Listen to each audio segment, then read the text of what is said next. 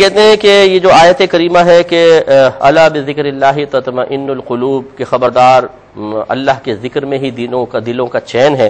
تو یہ کہتے ہیں کبھی ہم کوئی نیک عمل کرتے ہیں لیکن دلوں کو چین نہیں آتا، تو کیا وجہ ہے اس کا، کیا مسئلہ ہے؟ دیکھیں مسئلہ یہ ہے کہ بہت سارے، یہ تو مسلمہ حدیث یعنی آیت کریمہ نس قطعی ہے اس بات پر کہ حقیقتاً دل کو چین ملنا چاہیے۔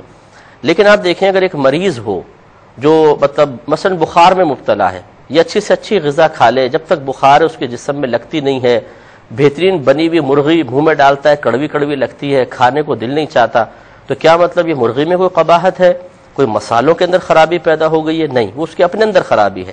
اس کا مطلب یہ ہے کہ آیت اپنی جگہ بالکل ٹھیک مضمون فراہم کر رہی ہے کہ اللہ کا ذکر چاہے زبان سے ہو، چاہے ہم اپنے تمام جسمانی اعضا کے ساتھ اللہ کی کوئی عبادت کر رہے ہیں، یہ بھی ذکر الہی ہے۔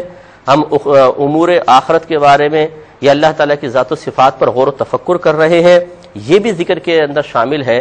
اب اگر ہمارا باطن صحیح ہے، دل میں مرض نہیں ہے، تو یقیناً دل ان سے چین اور سکون پائے گا۔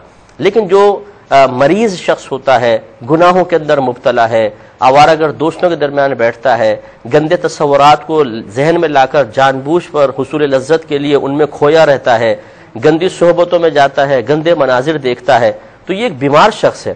یہ اگر ذکر کرے گا تو یہ یوں سمجھ لیں جیسے ایک بہت زیادہ بخار میں مختلف شخص مرغی کھانے کی کوشش کرے اور اس کو ذائقہ محسوس نہ ہو رہا ہو تو مرغی کو غلط نہیں کہیں گے، اس کا اپنا باطن خراب ہے۔ تو خلاصہ کلام یہ ہے کہ یہ اذکار الہیہ سے سکون و چین اس وقت آئے گا جب قلب اس سکون و چین کو حاصل کرنے کی صلاحیت رکھتا ہوگا۔ اس بیماری کو دور کرنے کی ضرورت ہے۔ مختصر سے بریک لیں گے۔ ہمیں یقین ہے آپ ہمارے ساتھ ہی رہیں گے۔